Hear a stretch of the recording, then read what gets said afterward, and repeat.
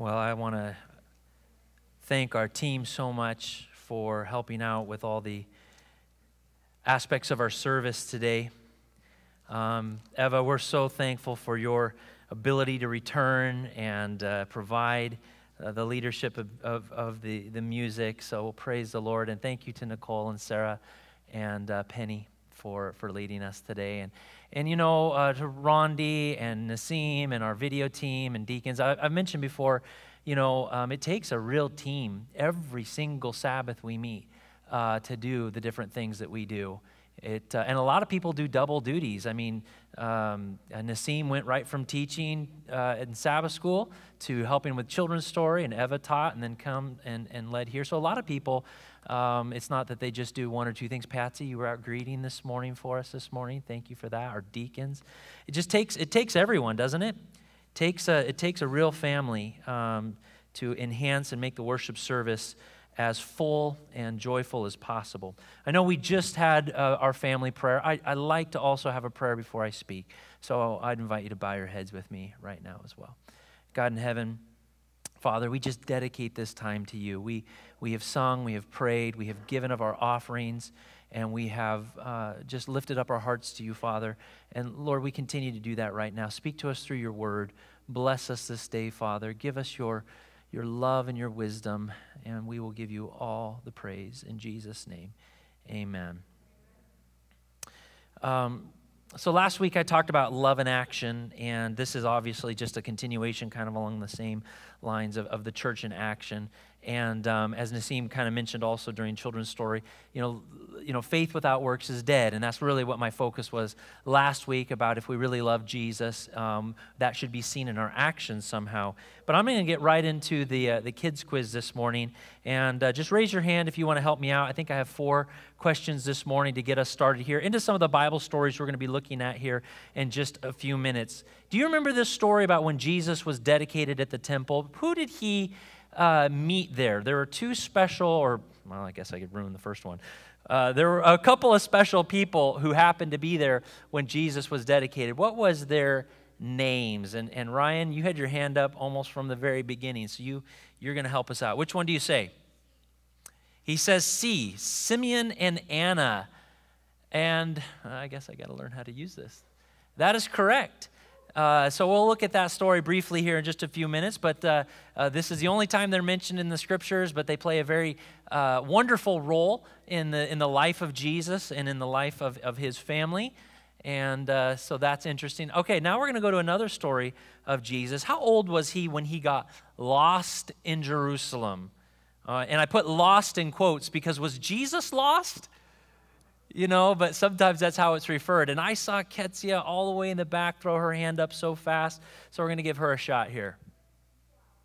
She, I heard you too. Thank you for saying it so loud. You are right. The Bible says that Jesus was 12 years old during this story. That's an amazing thing to think about.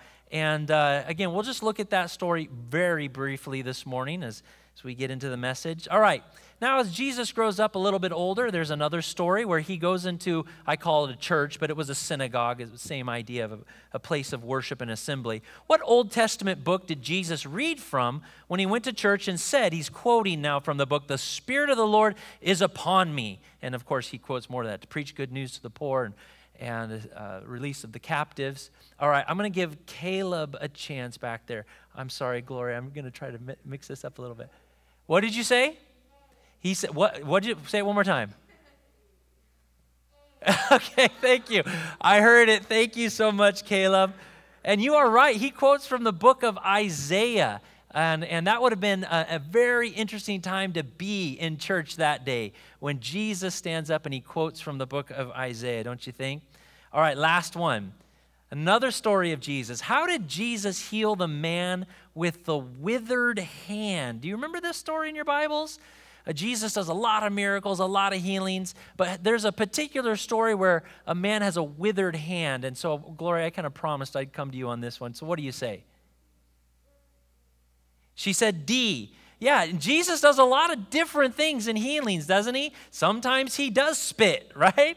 Uh, sometimes he says, "Go wash in the pool of Siloam," or, or, or something like that. He did he did touch people at times. Sometimes he would speak, and it's a, it's an interesting to think about the reasoning behind everything. But in this particular story, and again we'll look at it briefly, Jesus says, "Stretch out your hand."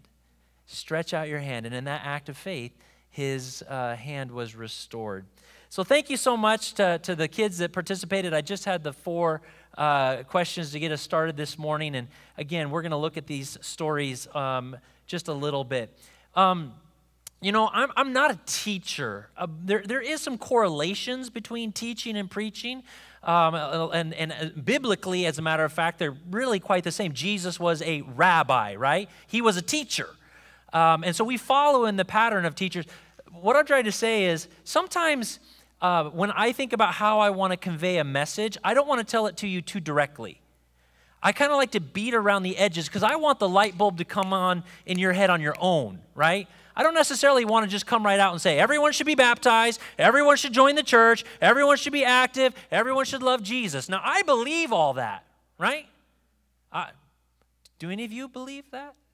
Three of you do? Wonderful.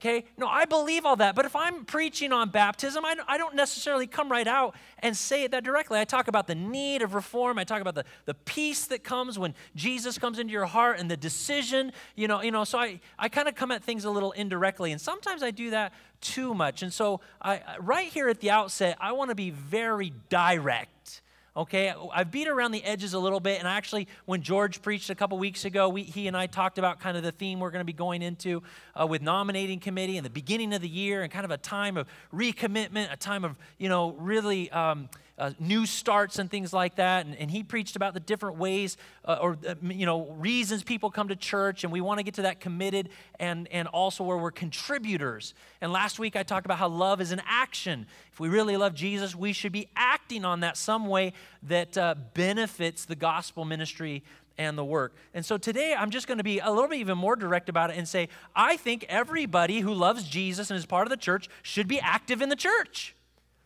Is that, is that direct enough?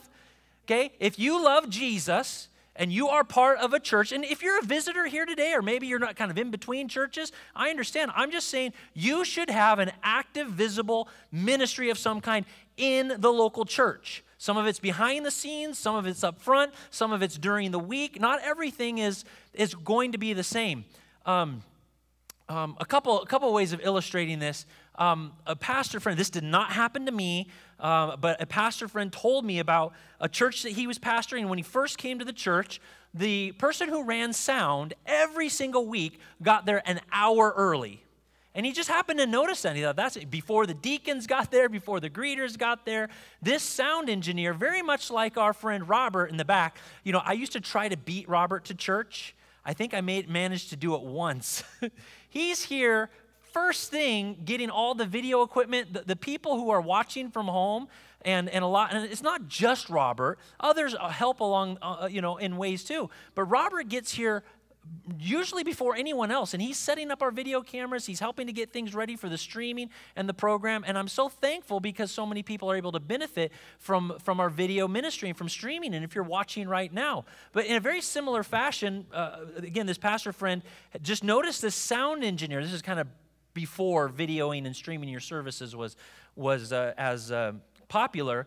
Uh, always there early, checking the mics, checking the levels, making sure everything was setting up. And he was very impressed by this. So he, one day, after a few months being new at the church, or maybe it was even longer, a year, I don't know, he pulled him aside and he said, You know, I'm just very delighted to see your investment in the church. You are one of the first one here. Tell me what it is that makes it so that you want to come like that. And, and, and the, the answer that he gave, and, and I remember the pastor sharing this during a devotional in a pastor meeting, you know, just something that stuck with me forever. He said, Well, Pastor, it's very simple. The Bible says that faith comes by hearing, and hearing by the Word of God.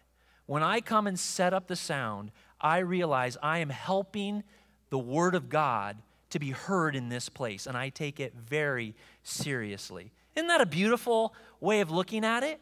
He didn't look at it as a chore. He didn't look at it as a, as a, you know, a duty or anything like that. Well, obviously, he took it very seriously as a responsibility. He saw it as a ministry. He saw it as helping people and helping the church draw closer to Jesus. Now, I'm just going to broaden that and say everything that we do in the church ought to have that kind of perspective. Whether you're even doing things like church decorating. How many of you guys enjoyed the Christmas decorations? Didn't that just provide a richness to the service? And just when you came into church, it just kind of shared this thought of the season and of the, the birth of Jesus. I don't know how much Talia put into that, Mrs. Shoop, Miss Shoop. Um, I know she had help, helpers do that, but what a blessing that was. And again, for our people watching from home, this is a pretty boring thing to see. Now, I don't mean to take that away from, from but the white panels and, you know, I, I, I TV Church a, a couple times, as my daughter calls it TV Church. Um, and you know, they only get to see what's behind me, right? And they don't have the benefit of kind of being able to, to look around, the, you know, the, the, the camera's focus. Even something as simple as church decorating enhances the ability of the church to appreciate the goodness of God. And we could go through every single ministry in the church and identify exactly how important it is to the work of the gospel. But I want to share with you one of my favorite um, sections, passages um, from the spirit of prophecy. This is the very first statement in Acts of the Apostles, very first sentence in the book Acts of the Apostles. And you'll see why I, I, I love it so much. It takes two slides to get it on. But let's just uh, read, read along with me here or just listen as I read. The church, okay, the church is God's appointed agency for the salvation of men. That, again, was last week's ser- sermon. It was organized for service. Now, when she says service, she doesn't mean a worship service. She's talking about an active service towards the furtherance of the gospel. What we do here is part of that service, right? But if it stays here, if it's only here, or if it's only a receiving thing that we do, it doesn't fulfill what is being described here. It was organized for action, we might say and its mission is to carry the gospel from, uh, to the world. From the beginning, and we went all the way back to Genesis last week, remember? All the way back to the Garden of Eden. The very first command that God gave Adam and Eve is grow this family, be fruitful and multiply. From the beginning, it has been God's plan that through His church shall be reflected to the world His fullness and His sufficiency. The members of the church, those whom He's called out of darkness into His marvelous light, are to show forth His glory. The church is the repository of the riches of the grace of Christ, and through the church will eventually be made manifest, even to the principalities and powers in heavenly places, the final and full display of the love of God. Now, again, the church is not a building the church is people gathering together with a common goal, right? To learn together, to grow together, to, to be equipped, and so that we can be better able to fulfill the Great Commission. But just notice all these things about the purpose and reality and responsibility of everyone who claims to be part of this church. To be a servant somehow, some way, maybe in a traditional sense, maybe in a new sense but it's something we are all asked to commit to and be committed to. So, um, just a couple more verses on this idea of Christ's relationship with the church. Husbands, you, you know this verse uh, from Ephesians. Husbands, love your wives just as Christ also loved the church and gave himself up for her. The relationship between Jesus and the church is just as intimate as the relationship between a man and his wife. And we are part of that. We are the bride, we are the church. And the, Jesus chooses this most, uh, again, intimate and personal uh, uh, analogy to say, I feel about the church the same way, I have a love and dedication and loyalty and, and desire for the uplifting of the church just as much as a husband should have for his wife. That's pretty serious stuff, isn't it? Colossians, um, Paul says he, Christ, is also the head of the body, the church. Last week I talked about, you know, sometimes we get frustrated with the church, sometimes we don't understand the church, sometimes we're hurt by the church. Sometimes we're very angry with the church. Jesus got angry with the church at times. But it's still his body, it's still his bride. Right? And the challenge before us is how do we embrace that knowledge that it's still his church, it's still his body, it's still his bride, even in the midst of brokenness and the trials of this life. And then from Revelation, just I put all these up here. The whole letter of Revelation is to the church. Right here at the beginning, John to the seven churches. And then seven times in the letters of the churches in Revelation 2 and 3, it says, Let him who has an ear listen to what the Spirit says to the churches. It's all designed to go to the churches. And then here at the end, I, Jesus, have sent my angel to testify to you these things for the churches. The role and ministry of the church is central. It is not ancillary, it is not secondary. It is primary. The church is the hub through which all other ministry finds its central core and its community and its connection. The church is, and again, the church is not just this building, it's not just this congregation, it is uh, other things as well, but we have to have a common core. Now, I'm just going to uh, and I know four stories and four testimonies seems like a lot. I'm going to do this um, somewhat uh, briefly. I could really develop thoughts on every single one of these, but I just want to take you to four stories of Jesus and then share four little testimonies from my own life. Uh, the stories of Jesus are all going to be in the Gospel of Luke. Okay, and if you remember the kids' quiz and those stories, um, they're, they're going to be they're going to tie into those. So come with me to Luke chapter two, if you will. Verses aren't on the screen. If you have it on your phone, or you want to look it up in your Bible, or if you want to just listen and follow along with me, um, you can do that as well. But Luke chapter two, the dedication of Jesus Christ at the temple. And again, I could take this whole story, so I'm going to try to uh, keep my thoughts on focus here. We're going to all come all the way to verse 25. Jesus is probably about two months old at this time, okay, because they have completed their period of purification and they come to uh, Jerusalem. So this is before the wise men have come now because uh, after the wise men come, Jerusalem and, and, Herod is all in an uproar, and they go to Egypt. So, and they're also very poor at this time, so we know they have not received the gifts from the wise men. So, verse 25, they bring Jesus to the temple. They bring him as part of, of the Jewish custom, of being the firstborn to be um, redeemed. All right, verse 25, and there was a man in Jerusalem whose name was Simeon. And this man was righteous and devout, looking for the consolation of Israel. The Holy Spirit was upon him. And it had been revealed to him by the Holy Spirit that he would not see death before he had seen the Lord's Christ. And he came in the Spirit. Notice how often Luke emphasizes this man was filled with the Holy Spirit. He was devout and righteous, all right? And he came by the Spirit into the temple. And when the parents brought in the child Jesus to carry for him the custom of the law, he took him into his arms and blessed him. Now, Ellen White does this interesting thing of, of uh, contrasting the spiritual uh, uh, blessing of Simeon versus the empty blessing that the priests probably had to offer. Because it wouldn't be much longer from here that the priests are going to try to destroy Jesus, right? So, here in this moment, God does a really wonderful thing of bringing in this spiritually devout person to recognize that the Savior was in their midst. And he pronounces this blessing in verse 29. Now, Lord, you are releasing your bondservant to depart in peace according to your word, for my eyes have seen your salvation, which you have prepared in the presence of all peoples, a light of revelation to the Gentiles and glory of all your people, Israel. And so you have this dramatic moment I mean, this was done in public. It wasn't pulled aside. You almost, it, if you read the, the story, it almost sounds like he kind of kidnaps Jesus, right? It says that, that they, you know, Mary and Joseph uh, brought Jesus in, and he took them in, took the child in his arms, all right?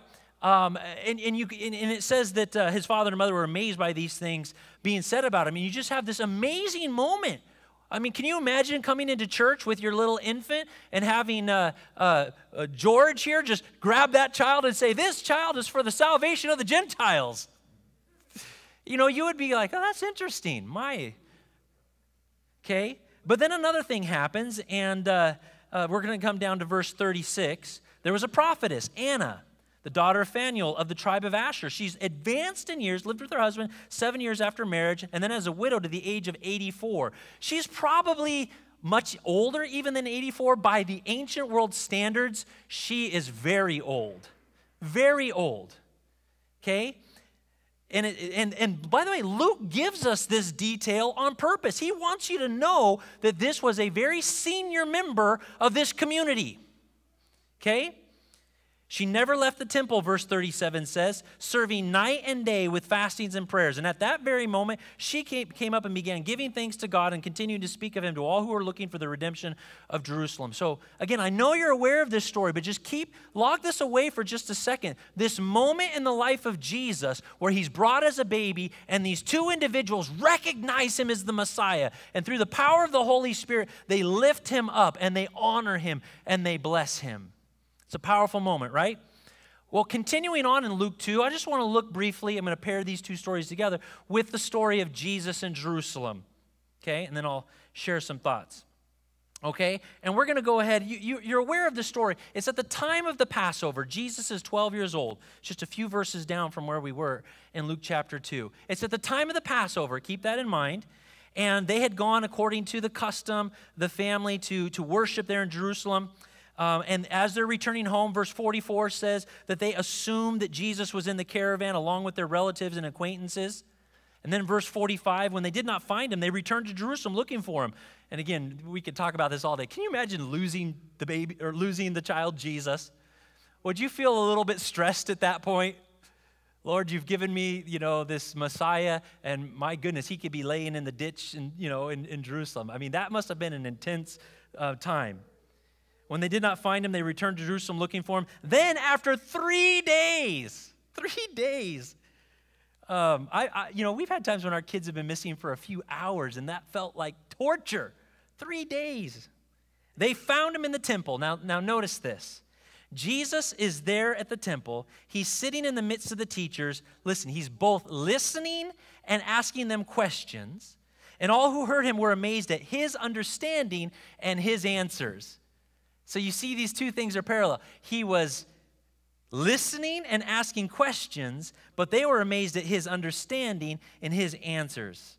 But when they saw him, they were astonished. His mother said, Son, why have you treated us this way? Your father and I have been anxiously looking for you. And he said, Why that were you looking for me? Did you not know that I had to be in my father's house? Or some of your Bibles say, about my father's business. Now, again, amazing to think about this story of this 12 year old Jesus, who, again, at the age of 12, there's so much going on uh, in, in, each young person's life, all these different emotions, all these different growth things happening. And here Jesus is in Jerusalem and he goes to the temple and he's, he's teaching, and they're amazed at his teaching. Now, this again, this is the time of the Passover. Do you think Jesus was understanding that he was the Passover at the age of 12? I'm wondering if this realization was starting to come on him even at that tender age. Wouldn't it have been amazing to be there at that moment when Jesus was at the temple at the age of 12? Would you want to miss an opportunity to see Jesus? I have a friend um, at the seminary. He's a pastor. He's in the Greater New York Conference. Um, I think he still is on Long Island um, somewhere. His name's Nalon Samuel.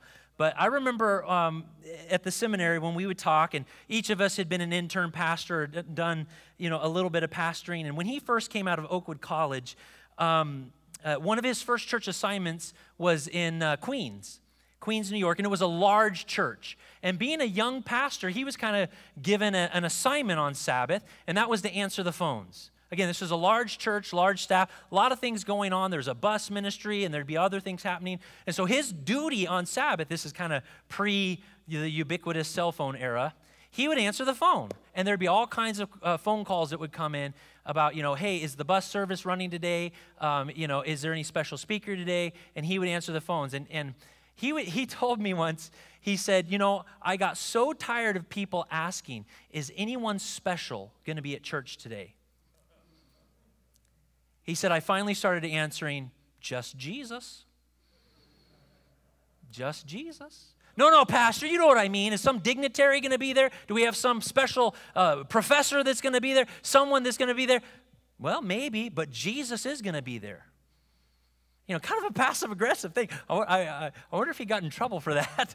Um, but, you know, there's kind of that attitude. When you never want to miss an opportunity when Jesus comes, right? When Jesus comes to church, do you want to be there? Did you know every time a child comes to this church, Jesus is present? Because the Bible says, um, uh, whatever you've done, even to the least of these, you've done unto me. Every time there is someone young and growing in their faith, Jesus is here working in their hearts. I have a vivid memory at the age of nine giving my heart to Jesus. When I was nine years old, I was in a, a children's church program, actually. Uh, our church that we went to every Sunday morning, they had an option for kids to go to children's church. And uh, I remember nine years old, the leader of that program, her name was Pansy Rice. And she made an invitation. She said, Is there anyone here who wants to give their heart to Jesus? And I have a vivid memory of both the moment and the emotions I went through as I began to think in my heart about all that I've been learning growing up. In all the VBS programs I've been to, all the Sunday school programs, all the children's church programs. And I remember this desire warming up in my heart. Yes, I want that. And I remember nine years old putting my hand up. Yes, Mrs. Rice, I want to give my heart to Jesus. You know, and she said, Well, come up forward. And there were a couple other kids. And um, uh, it was a beautiful moment in my my memory. As a matter of fact, I would say my heart belongs to Jesus today in large part because of Pansy Rice. And I just killed this again, guys. And it wasn't just Pansy Rice. There was Louise Anderson, there was Darlene Malvaney, there was Mark Reeves. How many of you, and I think I asked this last week, how many of you here today, oh, there was her picture. Oh, go back one. There she is. This sadly is from her um, obituary. She died five years ago in 2016. But that's exactly what I remember her looking like. She was in her, her uh, maybe uh, mid 50s or early 60s. I, am not exactly sure. Um, but Pansy Rice, every single Sunday, Pansy Rice was working in children's ministries. And I asked this last week how many of you remember as a child a particular moment where you also gave your heart to Jesus? Maybe it was a VBS. Maybe it was a Sabbath school Sunday. No, no, come on, put your hands up. Don't, don't be sheepish about it. Okay? A good number of you, it was in a children's program. Now, again, there are uh, many other factors that go into that. Um, I mean, it's never just one person um, that God uses, but sometimes in a very significant way, God uses a single person to make a difference in someone's life. Now, a story from when I was 12. Oh my goodness, is that the time? All right, when I was 12, um, I kind of had a rough moment. I was just moving into junior high school. Um, I was being bullied. Um, I was uh, being robbed from in school. I was not a happy camper. Uh, I just joined the youth program at, at, at our church. Again, uh, we were in, in, a different church at that time. It was not a Seventh day Adventist church. And um, I just was at a, a kind of a crisis point in my spiritual life. And the church was in between youth pastors at the time, and so someone volunteered to fill in that gap. And it was a woman by the name of Margaret Tomey. Now, Margaret Tomey was not a great leader, she was not an exceptional preacher, but she had a, just that kind, compassionate, genuine heart that you could talk to. And you knew that she loved you. You knew that she cared for you. And I have retained my faith and continue to have confidence in Jesus for a large part because Margaret Tomey helped me weather a difficult point in my life when I was 12 years old. Again, how many of you can remember growing up in, in, a youth program or as you got older, someone making a significant contribution in your life as part of the work of the church? Raise your hand. We're going to go to a couple more stories. Oh, the next picture. This was the church I grew up in. This is the Central Assembly of God Church, Pentecostal church. This is an old picture. This is even in the 70s, long before I went there. I just happened to find it when I Googled it. Uh, that is actually a steeple with the bell tower.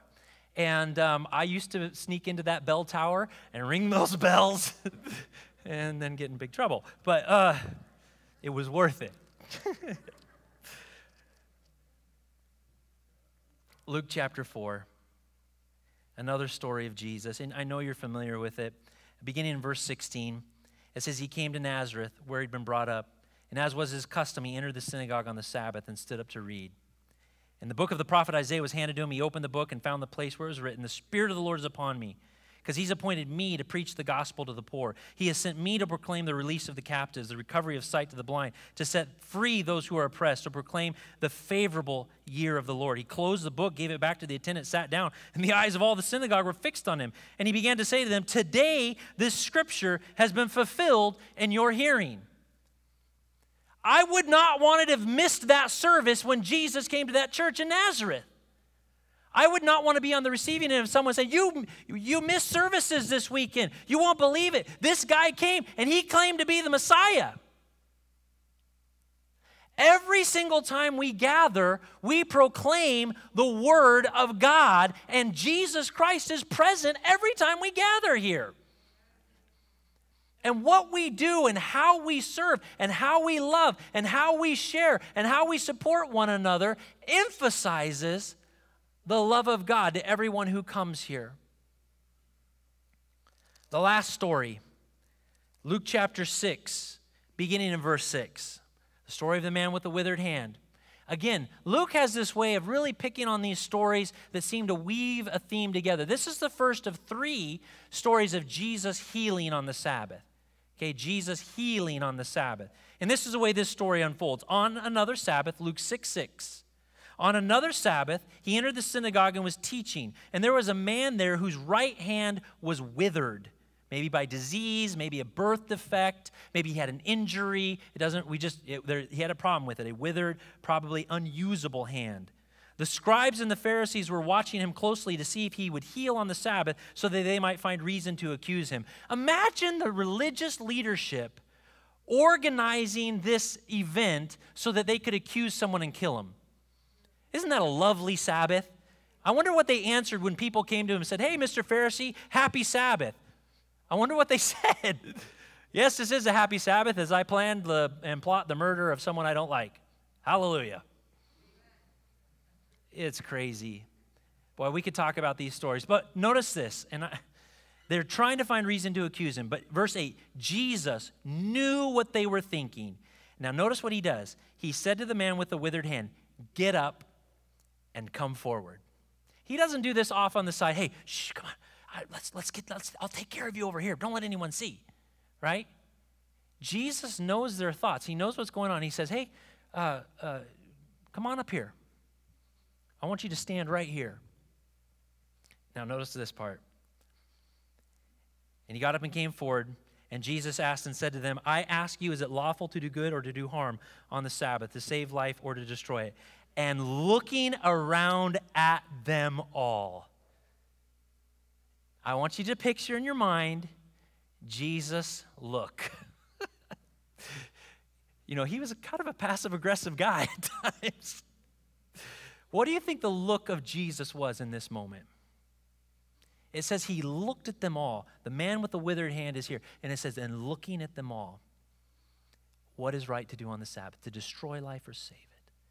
So good to do good on the Sabbath or to do evil? And then he says, Stretch out your hand.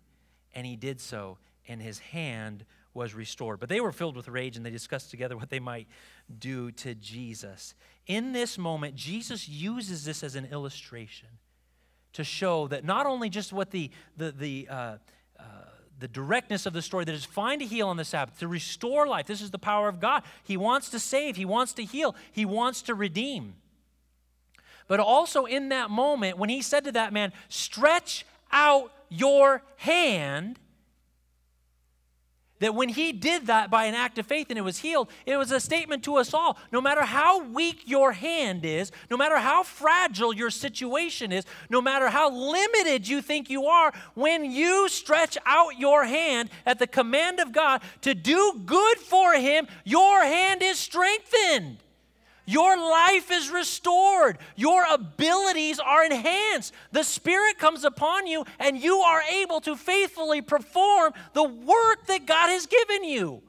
It wasn't just for healing's sake that God gave this man the restoration of his hand, but it's so that he could put his hand to the plow. It's so that he could do with all of his might the work of God.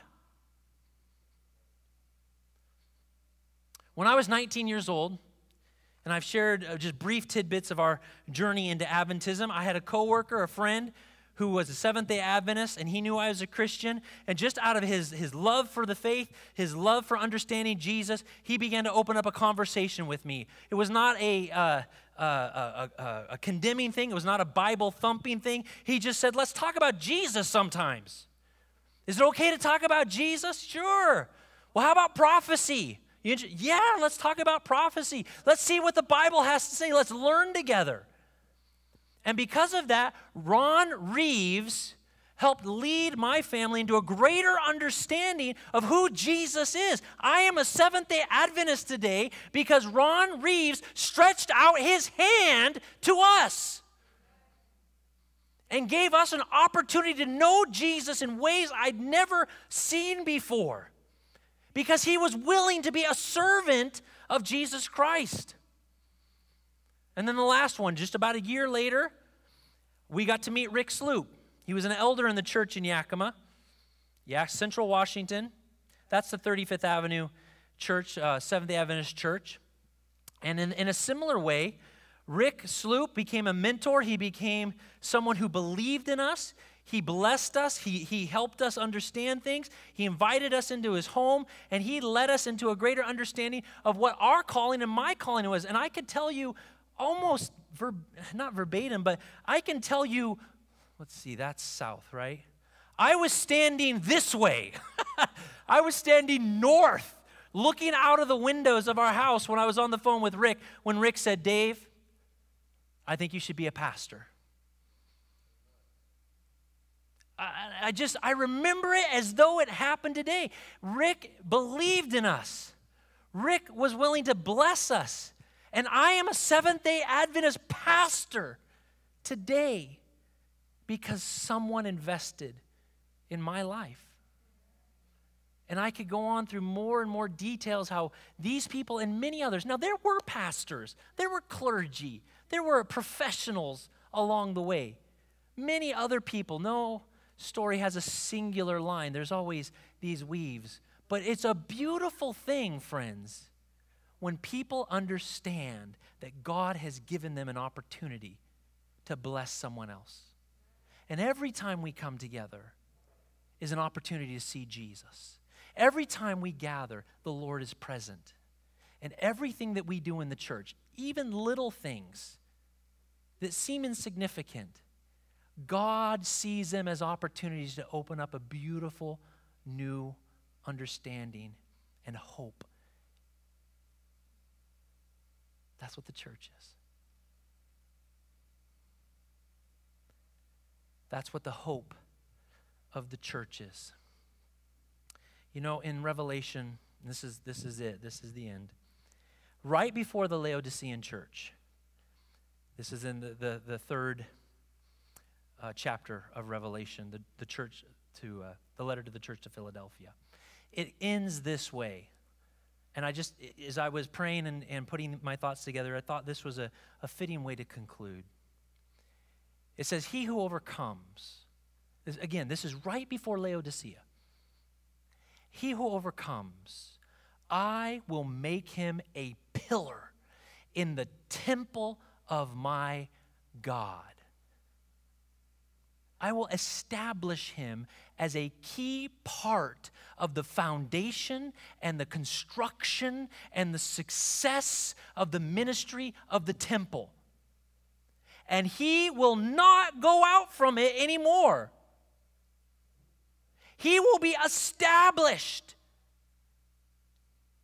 And I'll write on him the name of my God, the name of the city of my God, the New Jerusalem, which comes down out of heaven from my God, and my new name and he who has an ear, let him hear what the Spirit says to the churches.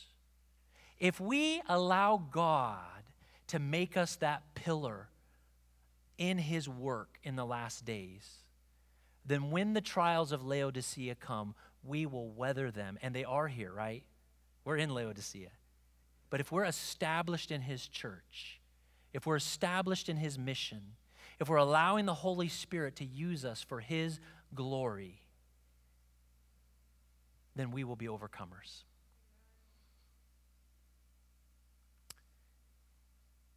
So, friends, how are you active in your church? What is God calling you to do? Is it to bless the children? Is it to teach? Is it to reach out? Is it to mentor? What talent has God given you? Let's pray. Heavenly Father, I know that there are so many other ways and better ways to focus and present the great privilege of being part of this movement in the last days.